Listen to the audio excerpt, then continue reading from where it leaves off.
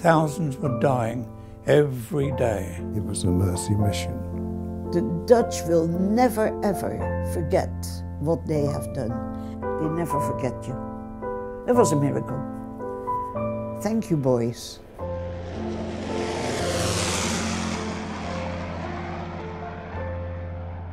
Operation Manna was an operation devised by the British government and the Dutch to drop food to the starving Dutch people in northwest Holland.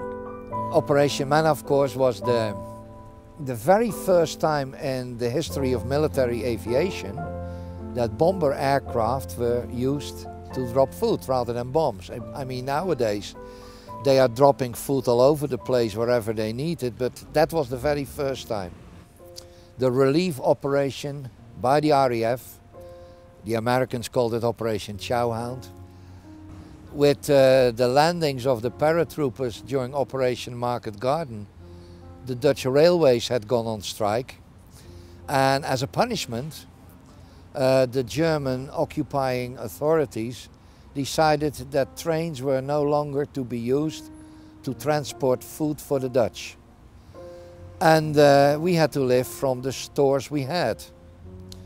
And with the defeat of the Germans in October 1944, when uh, many German troops came and withdrew into what they called Fortress Holland, we suddenly had 600,000 German troops who were entitled to four times the rations of Dutch civilians who were also eating from that uh, storage. So basically uh, the first uh, victims of uh, the hunger winter, the very severe winter we had in 44-45, were the poor people, the old people who couldn't fend for themselves, and the children. Reserves were nil, and there were no seeds. And then when we were isolated by not having any food in the shops, no milk, no electricity, no uh, light or anything like that, or gas, we were starving. And there were about, I think it was about 20,000 people died of hunger. And something needed to be done. In February 1945, Prince Bernhard, the grandfather of our present king, got information from the resistance that uh, the starving had gone to a horrible climax. And he got in touch with his mother-in-law, Queen Wilhelmina, who was living in London. And she wrote a letter to King George saying that if something drastically wasn't done immediately, the liberation of Western Holland would merely be a liberation of corpses.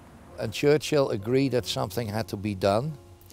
And that is how the request, or rather the order, came to General Eisenhower that he had to do something to help the Dutch.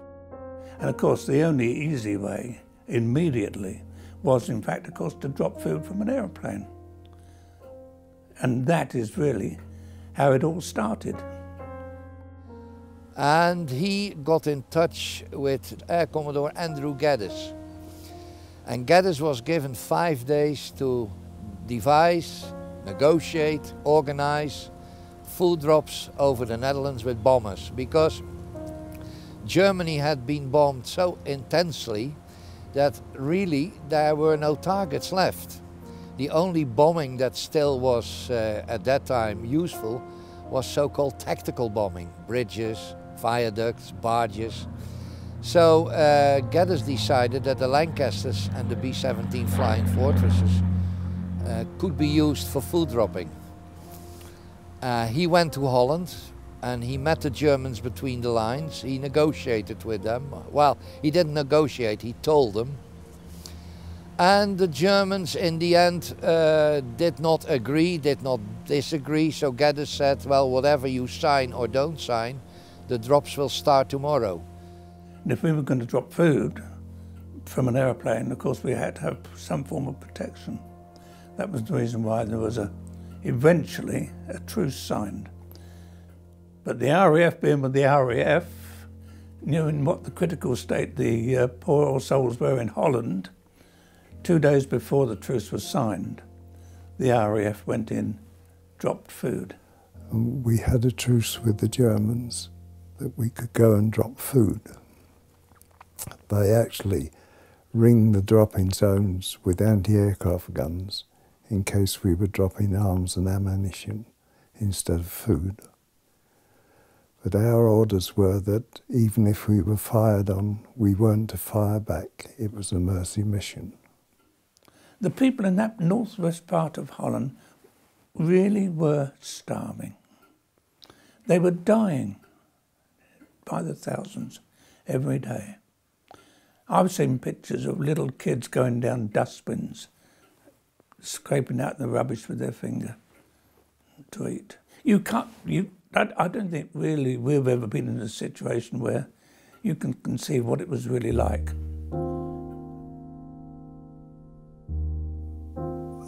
Well, the first time I heard about it was when we were actually going.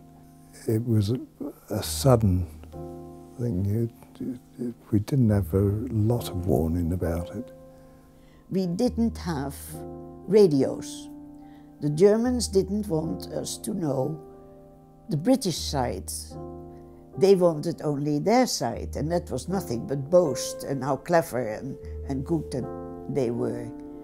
But my uncle, who was in the merchant navy but very clever with electrics and so on, he somehow concocted a radio where we could get BBC.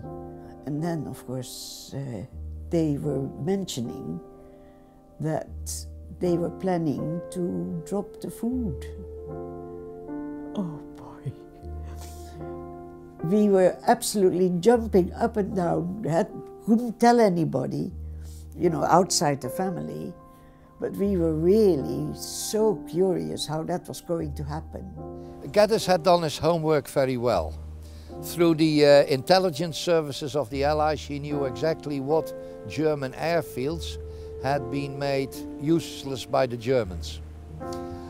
He also knew spots in Holland where you could drop food without uh, hitting civilians. And these areas uh, were marked by Bomber Command with mosquitoes that dropped markers.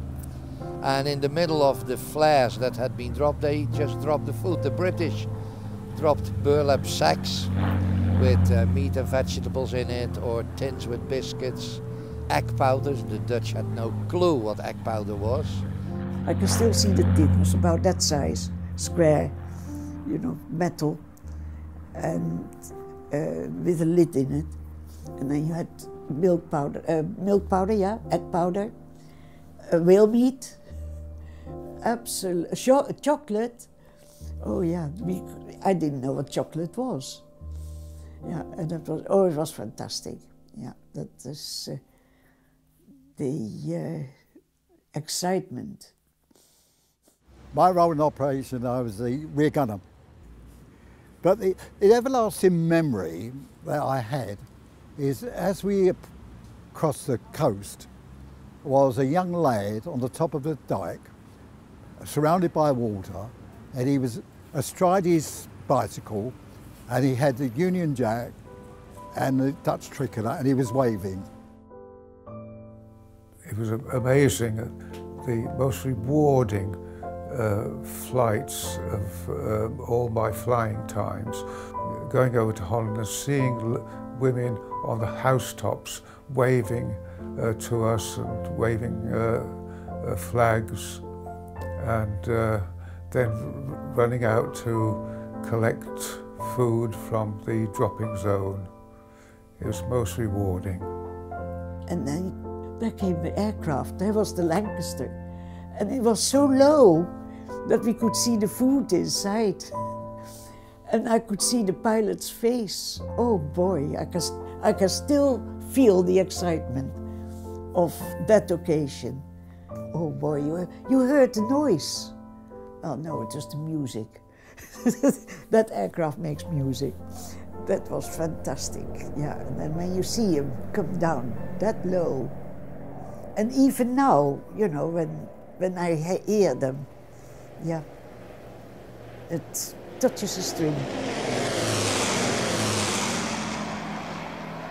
and no one in England has any idea what it means, when you suddenly see these bombers that you only heard at night and that you saw as little shiny specks in the air during the day, suddenly came over at 500 feet where you could actually see the aircrew waving at you. And then the bomb bays opened and food came out, no bombs. I think we started the home delivery campaign because the bomb aimer said, it's all gone. No, it hasn't. We've got a hang up. And the skipper flicked the aircraft. And because I'm in the rear turret, I could see exactly what happened. It could have gone anywhere into the water, into the clouds. Fortunately, it took an upstairs window in a house, so they had a delivery of food to the door. I was sitting in my rear turret, and of course, I see everything after it's happened. um, I remember seeing the, uh, white flare, and I remember seeing our food falling out of our airplane onto the ground.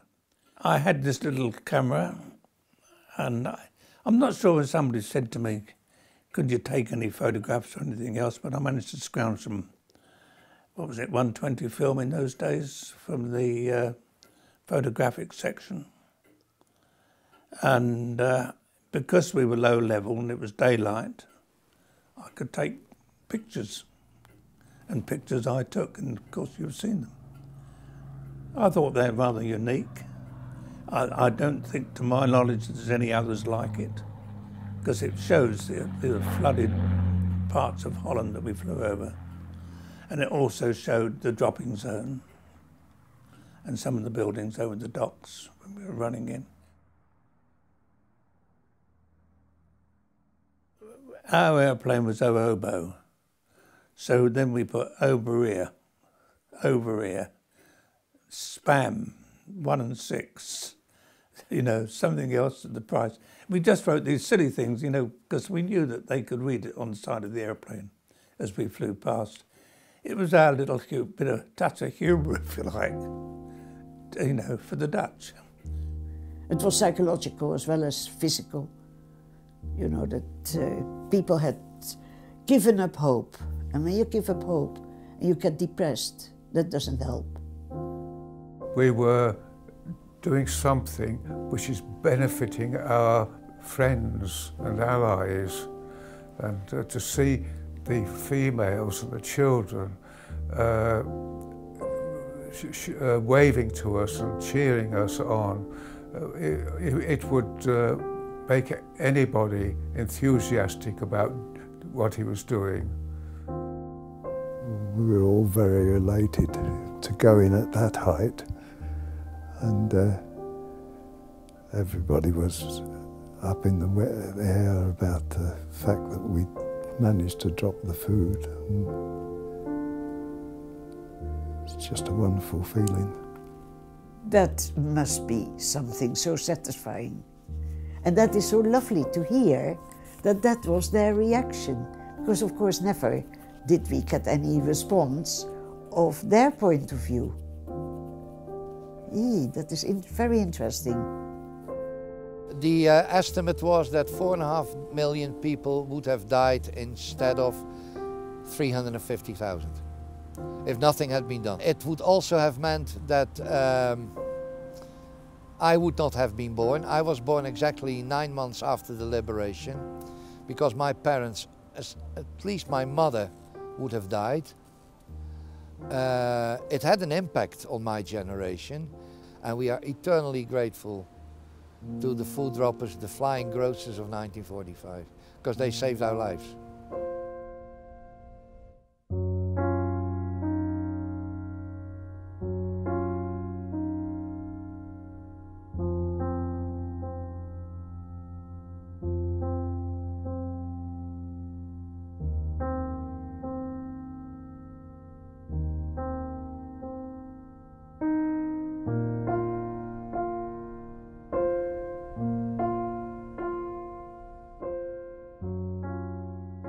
Freedom does not come for free.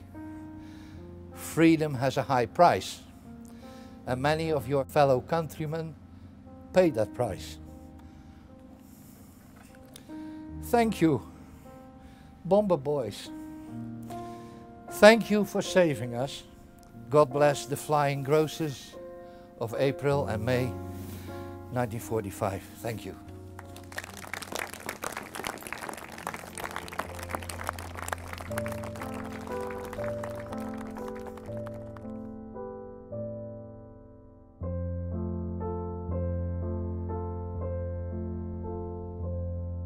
It's, it's very funny. I'm looking at my friend Bernie. I, he, he is one of the food droppers. And we've been friends for 40 years now.